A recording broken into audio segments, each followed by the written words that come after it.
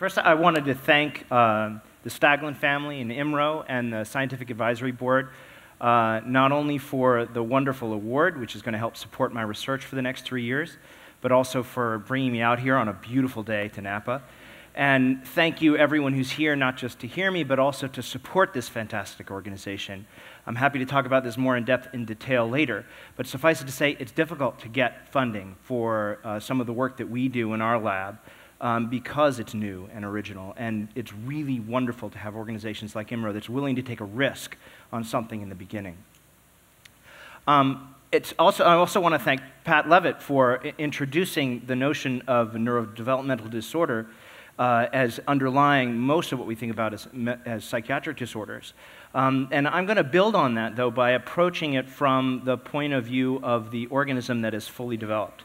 So I study uh, animal models of these psychiatric illnesses, and particularly in mice. And I come at it from the perspective of okay, we've gone through the developmental processes we know that the brain has been insulted by genetics and by uh, environment. And, um, and in the end, mental illness is a, an illness of behavior. Uh, and when I say behavior, I also mean thought and emotion. And my interest is trying to understand what are the brain processes that underlie those abnormalities in behavior. And, and fortunately, using the genetic cues, using the environmental cues, and using knowledge from patients, we actually know a fair bit about the circuitry.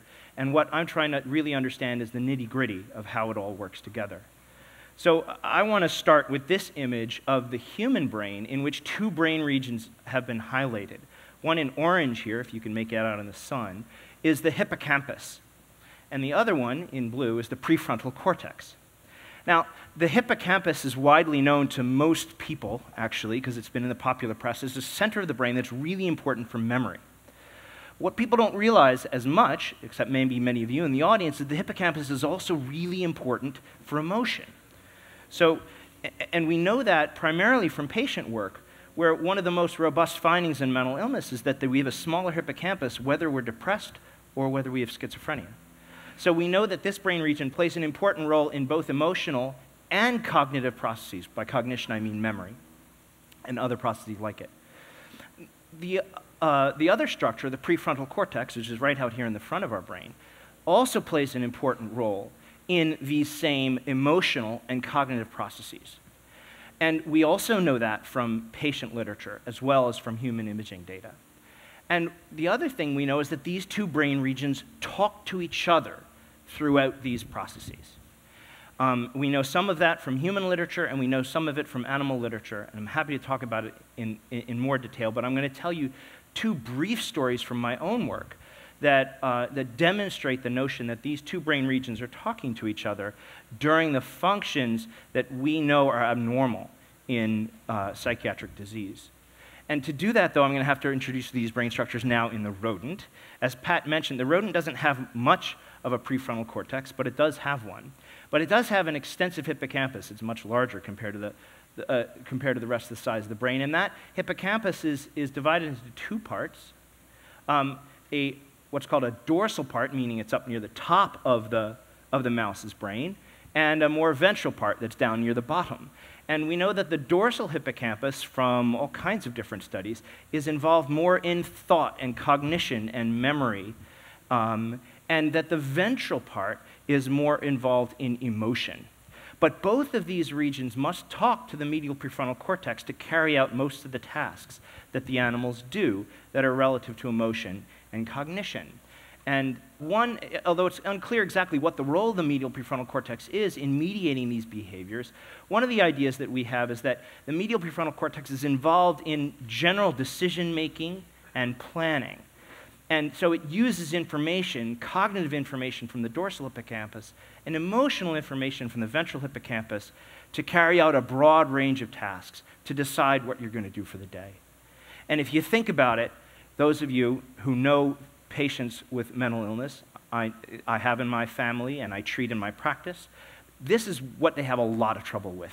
They have a lot of trouble properly using emotional and cognitive information to make decisions and plan their lives. And um, so, how do we study this in a rodent? What I do is actually take mice and I put electrodes into these brain structures, allow the mice to recover from the surgery, and then allow them to navigate and do cognitive and emotional tasks. And I ask, what is happening in those brain regions to the neural activity, the activity of the neurons that Pat was talking about, while they're doing these behaviors? And we can learn some interesting things. And one of the things that, that we've been focusing on lately is, as I mentioned, that these brain regions talk to each other. And so we want to know, we want to be able to measure how they talk to each other. We can do that by recording activities. It's really dark in here, but hopefully you can see it. If not, just follow the bouncing green light. To do that, we look at activity in one brain region, and it tends to go up and down as an animal moves around through its world.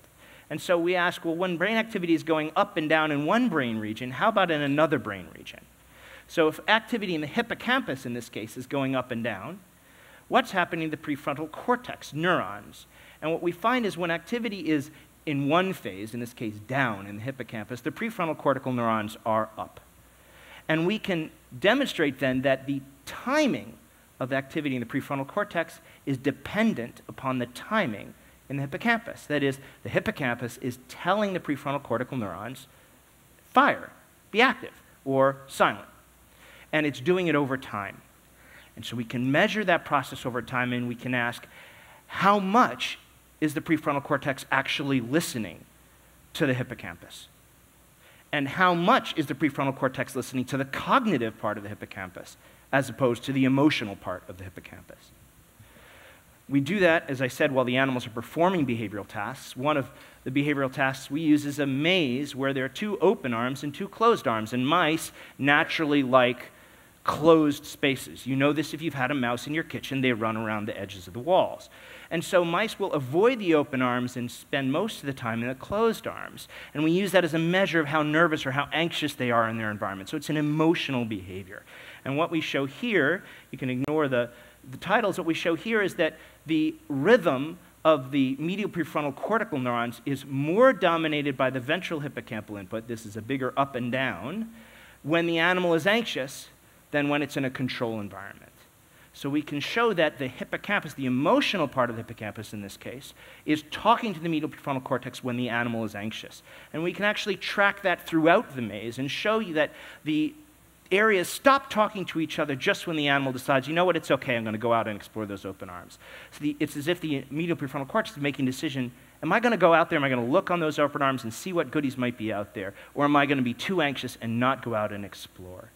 This is an analogy for the anxiety patient, right, who is so riddled with anxiety that she can't leave her house, right? And it, maybe it's because the ventral hippocampus is talking too much to the medial prefrontal cortex. That's pure hypothesis at this point. But the fact is that we can monitor these things online in the animals and then look for similar things in humans. The next short story that I want to tell you is a similar process, but now looking at cog- cognitive processes and memory in a, model, a mouse model of schizophrenia. So here we have a, a different kind of behavioral task, a task where the animal has to remember that it went left in a, in a T-shaped maze, and then the next time it's exposed to that maze, it has to go back the other direction. It's called a non-match to sample task. The animal has to go back to the right next time. It has to use working memory, that is, hold online the information that where it went before to be able to go to the other side. And this kind of task is very difficult for patients with schizophrenia. And both in humans and in rodents, it relies on the communication between the hippocampus and the prefrontal cortex. So we took a mouse model which carries one of these genes, a copy number variant that Pat mentioned, which predisposes to schizophrenia makes people with this gene have a 30% chance of getting the illness instead of only a 1% chance. And we ask, are these brain regions talking to each other during this working memory task in the mutant? And we find that the strength of, of the communication between the hippocampus is lower in the schizophrenia mutant than in the wild type mice. And so our interpretation of that is that these mice can't perform working memory tasks as well as their wild type littermates because they have a mutation that is preventing these two brain regions from talking to each other. So that's the setup for my work that is going to be funded by the Rising Star Award.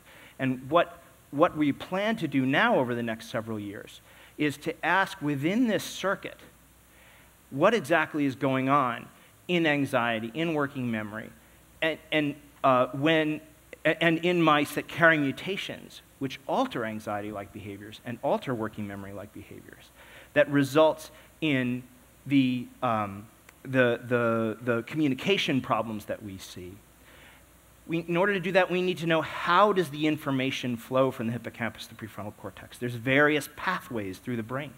So part of the project, we're going to be looking at which pathways are important for communication from the emotional hippocampus to the medial prefrontal cortex, and which pathways are important for communication between the cognitive hippocampus and the prefrontal cortex. We want to know can we block this communication? Can we interrupt those pathways, maybe to reduce abnormal communication that's seen in anxiety? Or can we enhance it? Can we increase the throughput, say, from the cognitive hippocampus to the medial prefrontal cortex in order to enhance working memory in mice? And so that's the plan. And these are some of the people that are going to be carrying out, people in my lab. Um, and uh, I wanted to thank, of course, again, the IMRO Foundation for, for really uh, allowing me to get this work off the ground.